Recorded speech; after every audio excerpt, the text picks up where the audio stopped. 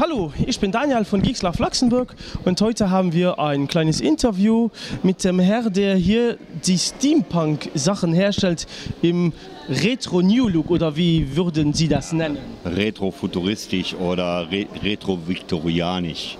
Angelehnt an die äh, Zeit der Dampfmaschinenindustrialisierung, äh, Jules Verne, O.G. Wells, ja, und halt eben Sachen, äh, was wäre wenn, wie würden unsere Maschinen, die wir heute haben, wie hätten sie ausgesehen oder wie würden sie aussehen, hätten wir zum Beispiel den Plastik nicht erfunden, äh, die Entwicklung aber schon weitergegangen wäre. Sprich, wir haben Computer, wir haben Handys, wir haben Smartphones, aber halt eben in dem Look der damaligen Zeit die sehr verspielt war. Ornamentik hat eine große Rolle gespielt. Man hat den Sachen, ich sage jetzt mal, Leben und Liebe gegeben, was ich heute teilweise in den modernen Designs vermisse, dieses geradlinige Kalte. Heute sieht man etwas, okay, ähm, es könnte vielleicht ein Samsung, ein Apple, ein LG sein und hier, wenn man es auf den, auf den Stand von früher machen würde, würde man sagen, okay, das ist dann eventuell von H.G. Wells oder von irgendwie, dann ist es wirklich markant, dass man sofort rausfindet, von wem es er sein würde. Ja, oder wie gesagt, wenn es zum Beispiel in einem Wohnzimmer von Queen Victoria stehen würde, ja.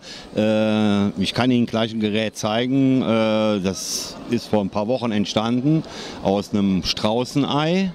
Ja, und äh, ich nenne das The Timeless, mein Name ist Titus Timeless, The Timeless iPod. Ja, und äh, wie hätte zum Beispiel so ein kleiner MP3-Player äh, auf dem Schreibtisch äh, einer Queen Victoria ausgesehen?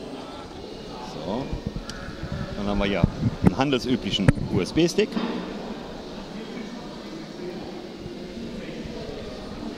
Die Ads-Arbeiten sind auch alle selbst gemacht. Jetzt haben wir hier laut Okay. Ähm, wie kommt man auf solche Idee, sowas äh, zu machen? Eventuell zu viel H.P. Wells gelesen oder vielleicht Metro geguckt zu viel dreimal? Es gibt natürlich sicherlich äh, Filme, die einen inspirieren. Äh, wenn man sich mal ein bisschen jetzt in der momentanen Zeit umschaut, wie viele äh, Werbeagenturen auch den Steampunk für sich entdeckt haben. Autohersteller, äh, Kaffeeröster, Lavazza etc. Ja, ich will keine Schleichwerbung machen. Äh, Entschuldigung. Ja. Aber äh, es ist eine Fantasy-Welt und in der heutigen Zeit, die äußerst hektisch ist, viele auch gestresst sind, sucht man sich einen Ruhepol. Äh, ich sage jetzt mal, man hat ja als Kind nicht die Fantasie verloren, nachdem man Jugendlicher und Erwachsener wurde, ja. ja. sondern eigentlich sehnt man sich als Erwachsener wieder in diese Zeit zurück, diese Verspieltheit, die Fantasie laufen lassen. Sehen Sie heute Kinder beim Spielen zu mit, mit, mit, mit Figuren, ja, da werden Welten entdeckt und das, etwas Ähnliches machen wir auch.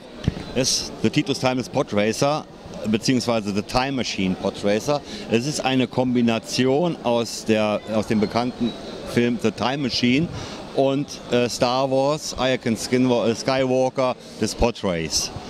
Entstanden durch einen Post eines Freundes in unserem Forum, der sagte, Titus, das sieht aus wie, äh, ja, wie Star Wars, also es war hier die, äh, der Skorpion und dann hat es bei mir irgendwie so ein, ja, eine Idee entzündelt, bau das Teil, bau eine Kombination aus Zeitmaschine und Podracer.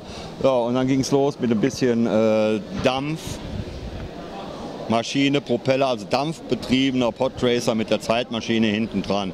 Das Teil dampft auch, wollte mich nah am Original halten, aber halt eben auch diese eigenen Features reingeben, wie man bewegt sich per Dampf, so wie halt eben in Star Wars dargestellt, kann aber auch eine Zeitreise mit der Time Machine machen.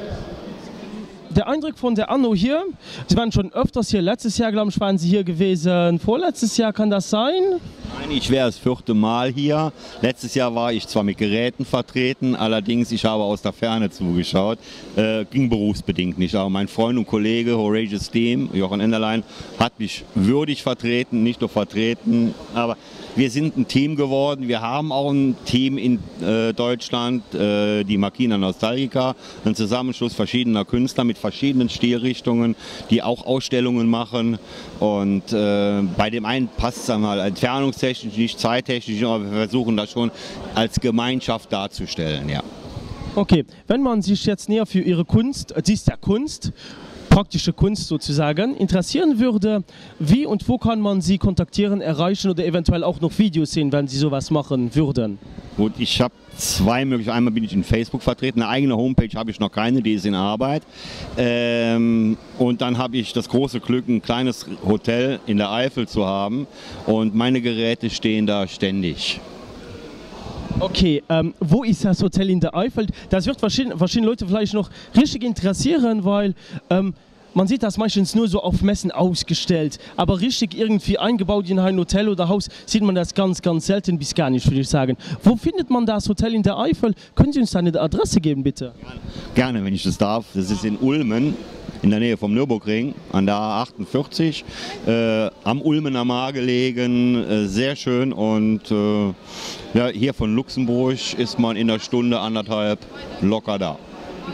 Und das Hotel heißt wie? Hotel Bürgerstube. Bürgerstube.